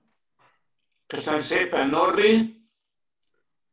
Igen, nagyon jó pont, amit csak kapcsolódnék Nikihez, hogy ezt mi is, mi, is így, mi is ezt csináljuk, ezt a kutatást. Tehát, hogy most már elég egyszerű módszerekkel, chatbotok, mit segítségével egy online kérdője úgy, úgy néz ki, mint egy Facebook Messenger, könnyű kitölteni mobilról, nagyon könnyű megszondázni a célcsoportot, hogy igazából mi kell a népnek, mi, mi alapján döntenek, mit tartanak fontosnak, mire harapnak. Ez most már nem úgy van, mint régen, hogy nem tudom, milyen vagy kérdező biztossal, vagy akár egy végtelen hosszú online kérdőível, tehát nagyon intelligens. Én ezt, egy nagyon jó módszernek tartom. Főleg ilyen időszakban, igen, amikor keresünk a, keresünk a miértekre a választ. Marketing investment, hát igen, itt ugye az van, hogy ki, kinél van a pénz. Tehát, hogy, hogy most a marketingesnél vagy a szélzesnél van a pénz. Ugye, hogyha amíg ezen megy a marakodás, az nem annyira, nem annyira sikeres, valahogy én ebben az összefogásban jobban hiszek, és nyilván a mérhetőség a kulcsa, mert ugye ez a database opinion, tehát hogy mindig azt szokták mondani, ugye, hogy mindenkinek meg lehet a véleménye, most az enyém megy a tiéddel szemben, most kinek van igaza, úgyse fogjuk tudni eldönteni és akkor itt jön be a mérhetőség, de a mérhetőség az, az borzalmas. Én, én, én azt gondolom, még hogyha nem is lépünk ki az online csatornából, azt mondom, hogy még az online-on belül is borzalmas, mert hogy nem vesz minden szempontot figyelembe, mert a egyes szolgáltatók, még akár Google, Facebooknál is maradva nem adnak át minden információt, és a, még hogyha a legbonyolultabb, meg a leg, leg, hogy mondjam, legfejlettebb attribúciós modelled is van, nem kapod meg a kellő információt. Most ha kilépsz az analóg térbe, egy analóg user journey-t is ehhez hozzáteszel, akkor ugye mondanom sem kell, hogy még inkább elválik, vagy elválhat az igazságtól az, amit aztán kapsz, vagy milyen következtetésekre jutsz.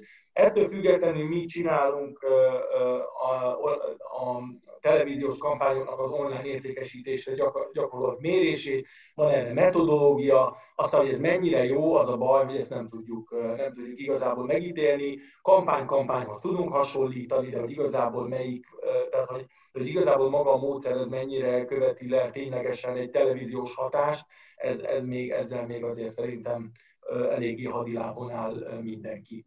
Úgyhogy... Gondoltad, bocsánat, igen, elnézést. Azt hittem, ezzel kapcsolatban ennyi, tehát a mérések annyi, de ettől függetlenül mi azt látjuk, hogy igen, jelen esetben a televízió, én azt mondom, hogy, hogy, hogy továbbra is megadja azt az úgynevezett ilyen umbrella hatást, hogy betel, betereli a népet a csatornába, és utána kell neked a marketing vagy a média mixeret úgy felállítani, hogy ezeket a hot lead-eket, vagy aki, aki úgy, úgy tűnik, hogy ráharapott, a, vagy érdeklődik a terméked irányába, őket megtartsd, és addig, addig hozd vissza, amíg aztán a végén nem vásárolnak tőle. Igazából Mindennyian jöttetek a kereskedelemből. Ebből adódik egy kérdés, megint fantáziálok, elnézést kérek érte.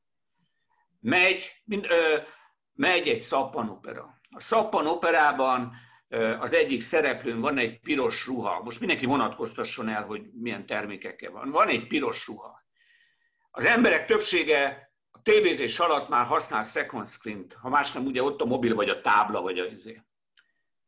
Mennyire tartjátok életszerűnek azt, és azt mondjuk, hogy ez a szereplő piros ruhája, ha te férfi vagy, most 30%-kal olcsóban megveheted, ha a second screen-en megnyomod a piros gombot. Ha nő vagy, akkor csak úgy százalék, szándékosan, hogy a férfit szorítsuk rá, hogy ajándékot vegyen, párkapcsolati dorjén. Mennyire, mennyire életszerű ez szerintetek? Szokásos sorrendben mennénk, Angéla Ágota, Niki Norbi.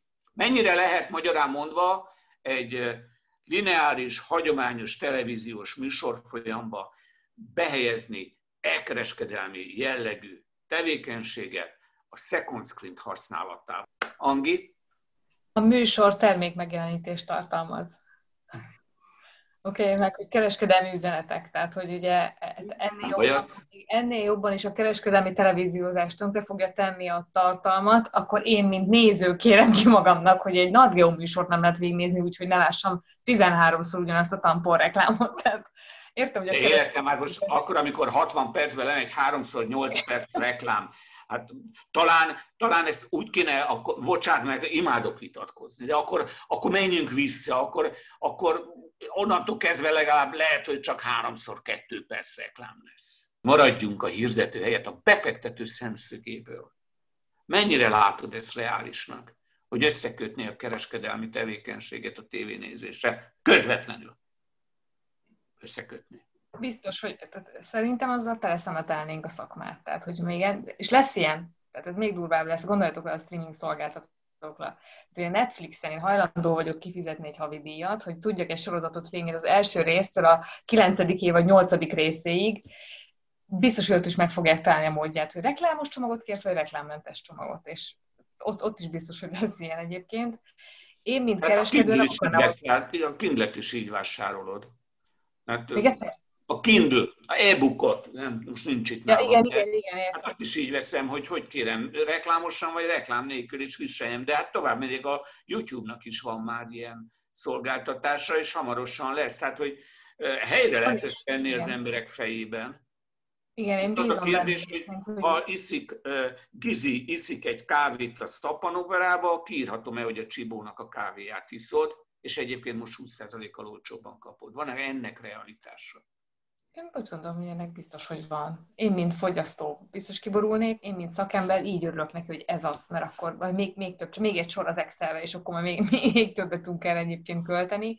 Sőt, hogy egyébként, ha szeretnénk a mezőgazdaságot egy picit felfuttatni, akkor legyenek olyan realitik, amiben egyébként házasodik a gazda, és akkor aztán nézzük meg, hogy mit fogyasztanak, és milyen gyakorisággal, nem tudom, emlékeztek rá, régen a szomszédokban volt ez, hogy, hogy így, így itták az almalevet egyébként, de nagyon direkt módon ment ez összes, az összes magyar filmben egyébként így van, hogy egy pillanatra csöndben vannak a szereplők, mert a Danubius szép bejelentkezik, tehát hogy igen, tehát biztos, hogy megyünk ebbe az irányba. Én mondjuk speciál biztos, hogy kreatív megoldást találnék ki rá, de mivel ez a jövő, mert ugye a Minority Report című filmet, amit Tom Cruise főszereplésével láttunk, amikor egyébként szkenner volt mindenhol, és bement a gebbe, és pont megszólította őt egyébként, hogy hol tudsz vásárolni, és mit, ez a jövő.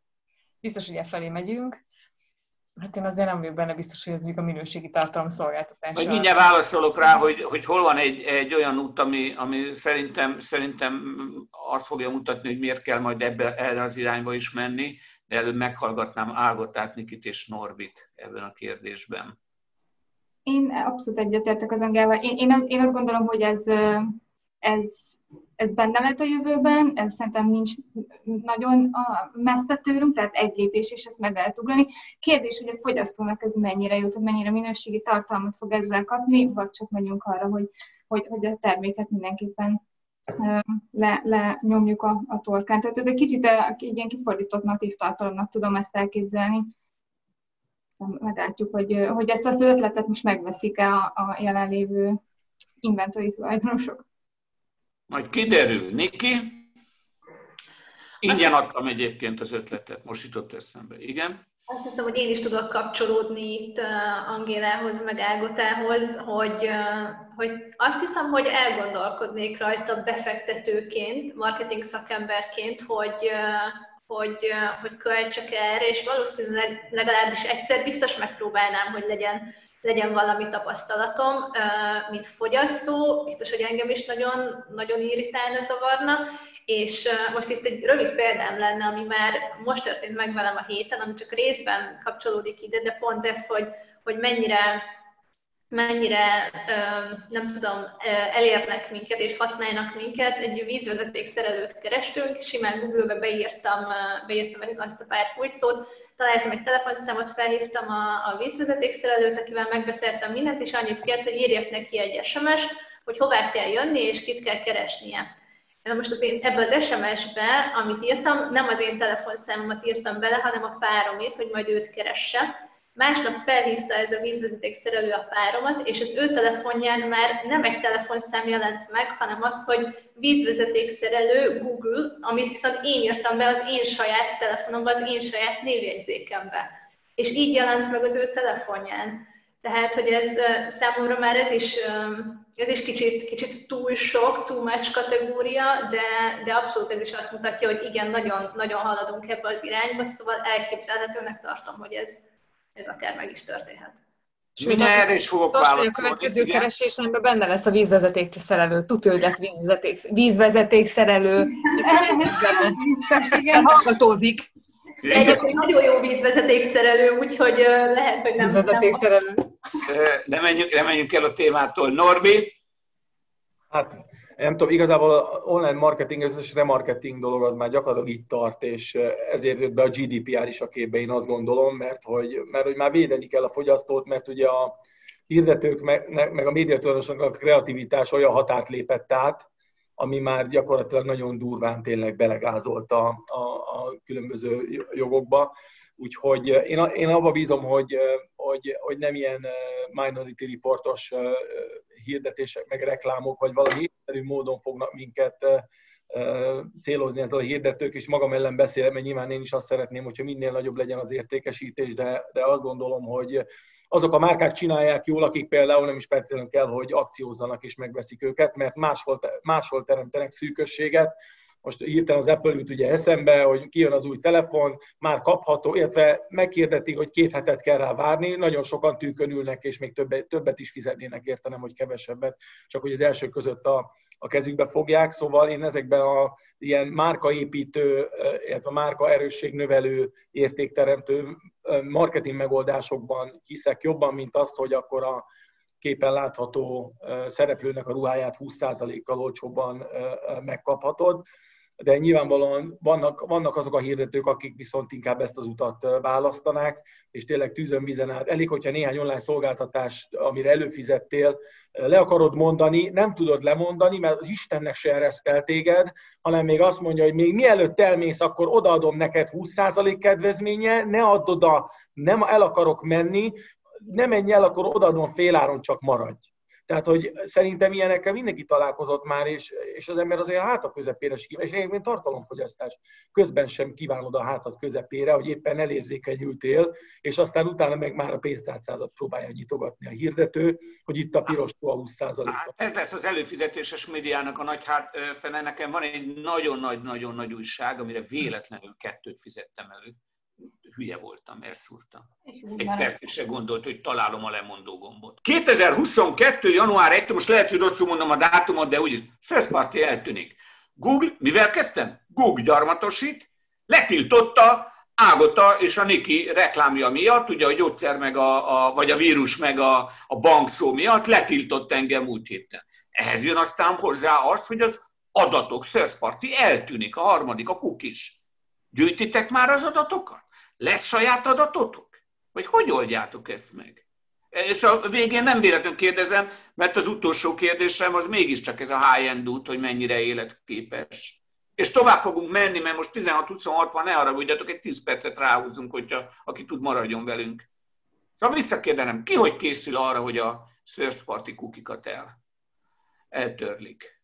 Mert ez viszont a Google-nak lesz jó és még kapott egy GDPR ajándékot. A third party törlik el, nem? Tehát igen, igen, azt mondtam. Akar... Szóval hogy készültök adatgyűjtés saját adatokkal? Hát gyűjt, akkor kezdeném most én kivételesen, itt van, hogyha megyünk. Mi gyűjtjük a, a, az adatokat már elég régóta, a saját bevajtikai rendszer, programatikkal összekötve nagyon szépen el tudjuk érni a látogatóinkat, a vásárlóinkat. Tehát, hogy egyrészt ez, másrészt ugye first party hirdetőink van, vagy hirdető partnereink vannak, azokat használunk, tehát hogy ott ez nem, nem, nem, nem veszik el igazából, tehát hogy rajtuk keresztül, és, és mi úgy látjuk, hogy azok a hirdető média partnereink, akik third partyként működnek, azok pedig igyekeznek megoldani, hogy nekünk, hirdetői, nekünk hirdetőknek ugye biztonságban legyenek a, az adataink, illetve tudjuk őket használni a továbbiakban is, úgyhogy inkább őket kéne megkérdezni, hogy ők hogyan oldják meg, hogy ne veszítsék el a bizniszt, ugye az hát nektek soha nem lesz saját médiátok? Saját mindig, mindig rátámaszkodtok a, a hazai médiára. Cookie poolunk lesz, saját cookie pool, és akkor ilyen szempontból azzal fogunk mi menni, gyakorlatilag a saját adszerverrel fogunk tudni menni. Ez Na, azért csak előjön ez a történet. Aha. Igen, igen, igen. Ez abszolút. Ez abszolút. Többiek, Angi Ágotaniki? Azt tudom, hogy nálunk szerintem kevesebb adat van, kevesebb adatot gyűjtünk, mint, mint lehetne, vagy mint, igazából úgy mondom, mint, mint jó lenne. Szóval nálunk sajnos kevés. Kevés, igen. Aha, Ágotta? Igen, én is azért voltam ilyen csendben, mert sokkal nagyobb szakértők vannak nálam a, a bankban, akik, akik ezt, e, ennek a jövőjét tervezik, és ezzel foglalkoznak, és sem sem olyat nem akarok kiadni, amit nem szabad, sem butaságot nem akarok mondani, úgyhogy, úgyhogy biztos, hogy, hogy, hogy jó kezekben van, van ez is nálunk, és, és tervezünk vele, tudunk róla, aztán majd, majd, majd, hogy milyen effektív lépéseket fogunk megtenni, ez még a jövő. Hát akkor az utolsó kérdéskör, Omnichannel, mennyire életképes ez ma? Hogy folyamatosan, és az megy át high ugye hogy folyamatosan a teljes értékesítési láncban lehessen brandingelni, értékesíteni, és menet közben folyamatosan lehessen hangolni, utána menni akár a personál kommunikációval. Ágota? Most kicsit megbolondítjuk a sorrendet, nem mindig ugyanaz legyen. Én azt gondolom, hogy annak kell lennie tulajdonképpen, amiről szólt mondjuk akár az internet is, hogy ez számomra az alkalmazkodás képességét jelenti. Azt, hogy, hogy folyamatosan figyelem, mi az, ami jól teljesít, folyamatosan figyelem, hogy az ügyfelet hogyan tudom elérni az életciklusának, éppen milyen fázisában van, most Covid behatás, nem Covid behatás, egyéb válság jön, nem jön válság, kiszabadulnak, bent maradnak, és ennek megfelelően vizsgálom én a, a csatornáim eredményeit. Tehát azt gondolom, hogy, hogy, hogy, hogy továbbra is tudunk így tervezni, ennek megfelelően tervezni, és, és ennek megfelelően optimalizálni a tartalmainkat. Ez egy nagy kihívás szerintem 2021-re nézve is. Nagyon nagy kihívás, hogy, hogy, hogy visszamérünk mindent, és, és rögtön tudjunk optimalizálni, tehát a digitális csatornák tere talán ezért is fog még, még inkább ö, ö, erősödni, de azt gondolom, hogy, hogy így tervezünk Hagy kérdezem tőled, Ágota közben, az ügynökségekre miként számítottok, és mi az, amit bevisztek vagy a házon belülre? Én, én, én nagy divat. Ugye nagy divat a telekommunikációban főleg, hogy beviszik házon belülre a teljes marketing lebonyolítást is. És csak a kreatív marad kint. Mhm. Én, én, én nagyon hiszek a, a szakértelemben, tehát abban, hogy, hogy sokkal jobb hogyha nincsen in-house, in-house szakértő, akkor sokkal jobb kiszervezni annak a, annak a félnek, annak az ügynökségnek, ahol kifejezetten annak a területnek mondjuk akár online hirdetések területén, vagy, vagy bármilyen egyéb a kommunikációs eszköztárnak bármilyen egyéb területe, hogyha, hogyha, hogyha tudunk behozni szakértőt, az nagyon jó, de én nem zárkózom el egyáltalán az ügynökségekkel való együttműködést. Nyilván fontos az, hogy az ügynökség legyen arra hajlandó, képes, hogy megismerje a mi márkaértékeinket, megismerje a termékeinket, tehát az, az egy alapfeltétel, akkor tudunk sikeresen együtt dolgozni az ügynökséggel, hogyha ő minket jól megismer. De egyébként a szakértelem, a szaktudás lényeg, hogyha ezt be tudjuk hozni in-house, ez nagyon jó. Általában azért, mivel nagyon széles körben kell nézelődni, azért abszolút dolgozunk együtt ügynökségekkel, és sikeresen. Niki, nálatok, köszönöm szépen Ágotta, Niki, nálatok van human to human, tehát offline-ból konferenciát, egyébként a, ezt csak halkan mondom, hogy a konferenciánál nincs a üzenetátadás, de hogy, tud, hogy tudjátok, a, hogy tudjátok a, a, az offline és az online rendszereiteket folyamatosan hogy úgy mondjam, hangolni, optimalizálni, és mennyire használtok mostanság ügynökséget, és hogy van ez a terveitekben, ugye ez a nagy, ez amit az előbb is kértettem, hogy behúzzuk a házon belülre a marketing lebonyolításokat? Nálunk jellemző volt, hogy, hogy egy, hát elég sok ügynökséggel dolgoztunk együtt, és továbbra is azt látom, hogy, hogy az ügynökségeknek nagy szerepe van, viszont az ő számukat próbáltuk csökkenteni, és, és inkább kettő-három ügynökségre koncentrálni, és nekik tartottunk egyébként tréningeket is. Tehát például, amikor tenderünk volt, akkor a keretszerződéskötés előtt nekünk volt egy háromnapos terméktréning, aminek a végén volt egy kis egyszerű teszt és hasonló dolgok, de, de, de azt gondoltuk, hogy, hogy erre nem tudom, úgymond itt szükség van, nyilván nem volt semmilyen tétje, csak hogy mégis azért valami, valami legyen. Ettől függetlenül viszont bizonyos dolgok kapcsán azt látom, és ezt inkább globális szinten látom, hogy, hogy in-house kezdenek menni a dolgok. A kreatív az, az ott is abszolút ki van, ki van szervezve, de például e-mailek kiküldése, LDM-ek kiküldése, főleg digitális dolgok, azok, azok kezdenek in-house lenni, de mondom, ezt inkább globális szinten látom, Lok, Lok inkább az ügynökségek segítségét szokta használni. A másik kérdés, hogy hogy ugye omnichannel és, és offline és, és online, mi próbáljuk azért eléggé szegmentálni a piacot és personákat felállítani, illetve az anyagokat is úgy csinálni, hogy viszonylag rugalmasan változtathatóak legyenek. Tehát, hogyha például van egy olyan orvosom, nem tudom, aki aki evidence-based beállítottságú, tehát hogy ő ugye a tapasztalatokat részesíti előnybe, és van egy olyan, aki mondjuk az adatokat szereti, nekik például, tehát hogy azt gyorsan tudom változtatni az, a, a, az anyagaimat ahhoz mérten, hogy kinek fogom azt kiküldeni.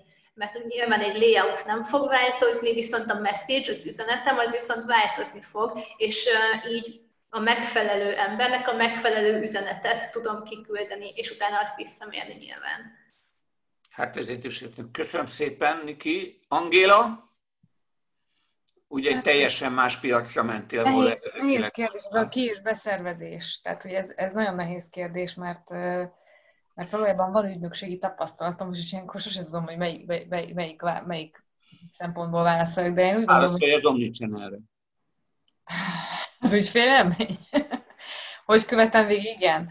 Tehát hogy a szolgáltatásfejlesztés az első számú fókusz, tehát hogy, hogy mindent lehet jobban csinálni, és mindenben van, van digitalizációs lehetőség. Tehát, hogy ez, ez ennek szerintem sosincs vége. Tehát, hogyha ebbe valaki azt, hogy jó, mi kész vagyunk, akkor az, az hazudik, mert, mert mindig, mindig lehet újabb és újabb eszközöket kipróbálni. Tehát ahol a chatbot már megy, ott más irányba mennek, én most chatbotra vágyom éppen, tehát hogy nyilván ezt az, az ügyfélszolgált munkáját megkönnyítsem, és hogy meglegyenek nekünk is minél több adatunk legyen egy hatalmas közösségről, hogy napi szinten két millió ember, és, és emiatt az ügyfélélményt szolgáltatásokkal tudom kiváltani, mert, mert úgy tudom a reputációt is felhozni, ha már, ha már van egy korlátosság mondjuk egy ilyen covidos helyzetben, jelentős bevételkiesés van, ilyenkor csak a minőség és a, a szolgáltatások, a digitalizáció lesz a jövő, és ahogy a szemléletváltást is mondta, a szemléletformálást is említettem, ez is fókuszban, és hogy a szakembereket hogy szervezem be is ki, hát én nagyon örülnék, ha most mindenki tudna ajánlani. Nagy, olyat, aki tuti jó szakember, és elkezdem mondani, és kreatív, és egyébként ért a programatikhoz, és így,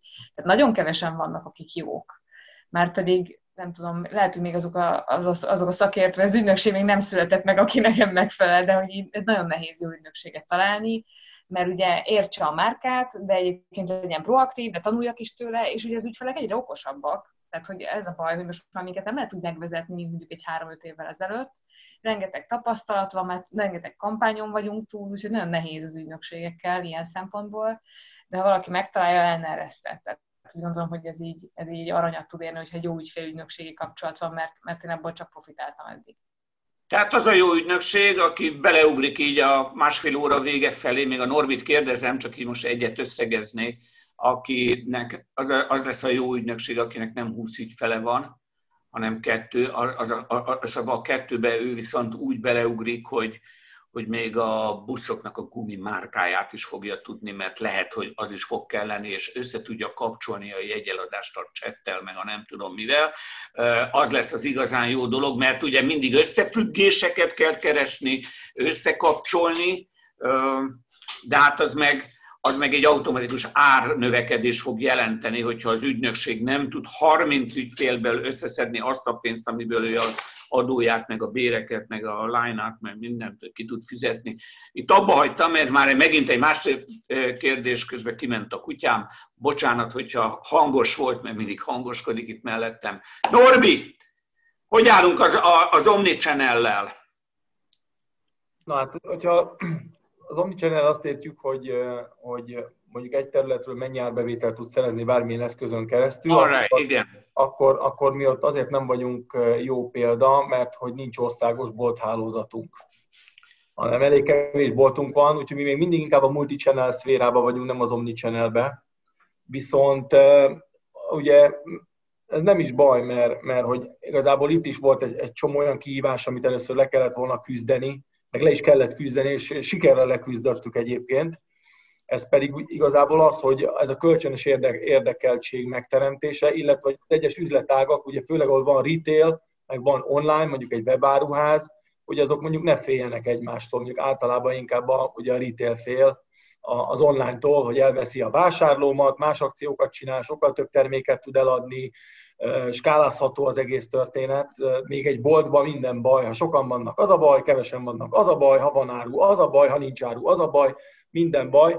Tehát nyilvánvalóan ez szülhet feszültségeket egy szervezeten belül, És mi ezt úgy oldottuk meg egyébként, hogy közös célokat állítottunk fel.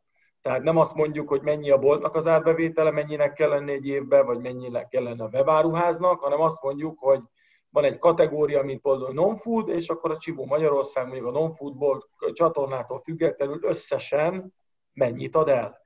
És akkor nem kell beszélni kannibalizációról, nem kell beszélni, hogy az én vásárlom, a te vásárlód, az én eladásom, a te eladásod, hanem ha, ha együtt többet adunk el, mint tavaly, akkor jól dolgoztunk, ha meg nem, akkor meg piac, market share-t vesztettünk. Tehát, hogy ez volt egy nagy tanulság, és ugye ebbe ez vezetői kérdés elsősorban, hogy a vezetők partnerek ebbe, és én nagyon boldog vagyok, hogy, a, hogy azok, a mostani vezetők már azok, mostani vezet nem fél az online-tól, nem volt ez mindig így, de er, én ezt talán egy nagy learningnek tudom mondani ott, ahol akik hasonló cipőben járnak, hogy ne egymással versenyezzenek, hanem inkább a konkurenciával.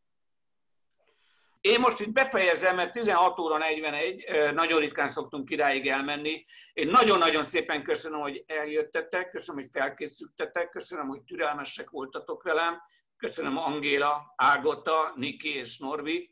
A kedves nézőknek is nagyon szépen köszönöm, hogy eljöttek.